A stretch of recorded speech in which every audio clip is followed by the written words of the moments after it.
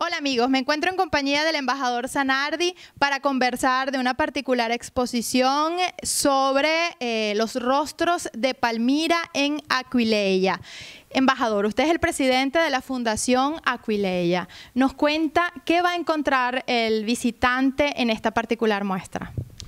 Il visitatore al Museo Archeologico Nazionale di Aquileia incontrerà eh, 16 pezzi di Palmira, 16 statue altorilievi di Palmira, messi in qualche modo sullo sfondo dei pezzi aquileiesi per far capire quali erano le relazioni tra due città nel III secolo d.C. Due città molto lontane tra di loro ma che condividevano degli elementi importanti. Quello di essere dei luoghi di passaggio tra est e ovest, due orienti diversi, quelli dei Balcani per Aquileia, quelli della Persia per Palmira, eh, soggetti a molte influenze culturali e artistiche, dunque dei, eh, dei posti dove la cross fertilization dove la convivenza erano diventati dei paradigmi. Eh, abbiamo voluto farli vedere insieme, far rilevare quanto Palmira era più raffinata nel III secolo d.C. di Aquileia, dove si producevano ancora delle opere d'arte importanti, ma un po' rustiche, un po' meno elaborate e meno raffinate che quelle di Palmira. Abbiamo voluto farla in questi, in questi mesi per attirare l'attenzione del pubblico su quello che sta succedendo in tanta parte del Medio Oriente e dell'Africa settentrionale, cioè la distruzione di monumenti e di opere d'arte per cancellare la memoria, per negare tempi in cui ci fu una convivenza pacifica, produttiva e feconda tra persone di diverse razze, di diverse lingue di diverse fedi.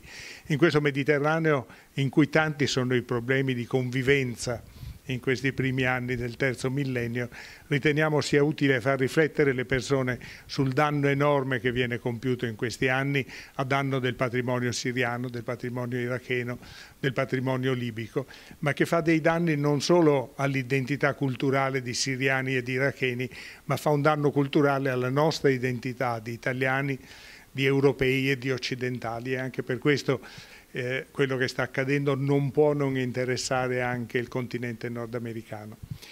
Ehm, la distruzione delle opere d'arte si inquadra in un disegno molto più, più, ampio e più vasto, che è quello della distruzione della memoria come tale e che eh, eh, oltre alle opere d'arte distrugge qualcosa di ancora più vivo e più importante, che è l'esistenza delle comunità cristiane, cattoliche ed ortodosse in Medio Oriente o, non, o anche non cristiane, ricordiamo l'anno scorso le persecuzioni nei confronti degli Yazidi e lo scardinamento delle strutture sociali dei paesi eh, che per tanti anni sono stati dei partner importantissimi per l'Italia e per l'Europa.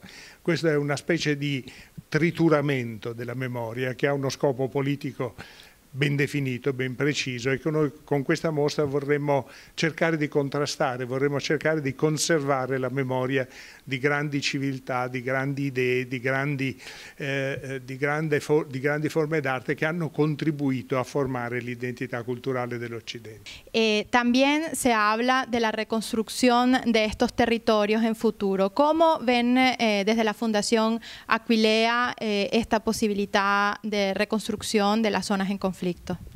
L'idea della ricostruzione è un'idea lanciata e sostenuta con molta forza da un grande archeologo italiano che si chiama Paolo Mattie professor Mattia ritiene che non solo si possa, ma si debba ricostruire come affermazione di volontà appunto di preservare la memoria. Oggi con le tecniche moderne tutto si può fare. Certo che il danno eh, rimane, è un danno grande e grave e soprattutto non sarà possibile ricostruire quello che erano le comunità cristiane in Medio Oriente, quello che erano le società dei paesi medio orientali. Questo temo sia un danno, un danno permanente. Quello che sarà il futuro della Siria è troppo presto dirlo, dipende dai siriani ma non solo dai siriani. Stiamo seguendo con molto interesse quello che sta uh, accadendo in, questi, in, queste settimane come trattative tra le parti siriane, anche tra le grandi potenze che si sono impegnate, che si sono impegnate in Siria.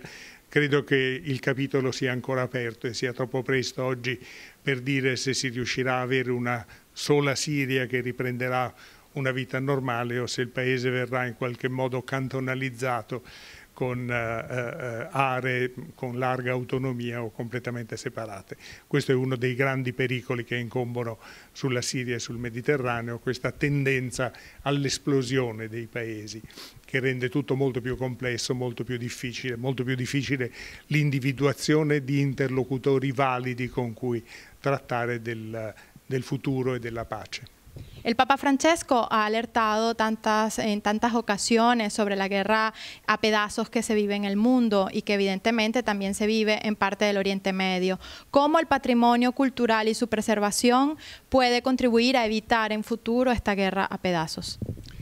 Il, il Papa ha avuto un'intuizione per primo, cioè che era in atto una guerra mondiale a pezzi. Al momento la frase ci ha stupito, ma oggi, mese dopo mese, semestre dopo semestre, vediamo quanto vera era l'intuizione del Santo Padre. Purtroppo questa guerra mondiale a pezzi non si limita al vicino al Medio Oriente, ma si è estesa in grandi del, parte dell'orbe perché vediamo che anche paesi dell'estremo oriente o del sud-est asiatico in questo momento stanno attraversando dei periodi molto difficili per non parlare dell'Africa subsahariana. Ehm, come utilizzare il patrimonio mondiale? Difficile, eh, non, è, non, è, una cosa semplice. Io credo che ehm, le mostre non... Eh, anche se le nostre mogli, mostre vogliono essere un gesto politico, vogliono convogliare delle idee politiche, però non siano gli strumenti che siano in grado veramente di cambiare la situazione, ma credo che possano essere una goccia in un fiume che deve formarsi e deve contribuire a quella grande battaglia culturale che sarà solo, la sola ricetta per poter superare il, eh, le difficoltà che affliggono il Mediterraneo in questi anni. Noi vorremmo che eh, anche i, eh, i, musulmani di seconda generazione, di terza generazione, nati soprattutto in Belgio, in Inghilterra, in Francia ed ora anche in Italia, che è un paese di immigrazione più recente, riescano a capire che quello che noi mostriamo, questi elementi di similitudine che noi vogliamo far notare, eh, mettono in luce un patrimonio che è stato anche loro, che è appartenuto ai loro antenati, che è appartenuto ai loro paesi e vorrei che con queste mostre si desse anche a loro una fierezza di una cultura comune, forte e condivisa. Gracias mil, embajador. Sin duda, lo importante es no olvidar nuestras raíces y nuestro patrimonio de la humanidad. Muchísimas gracias. Esto es Yo Influyo. Soy Marinelli Stremamugno desde Roma.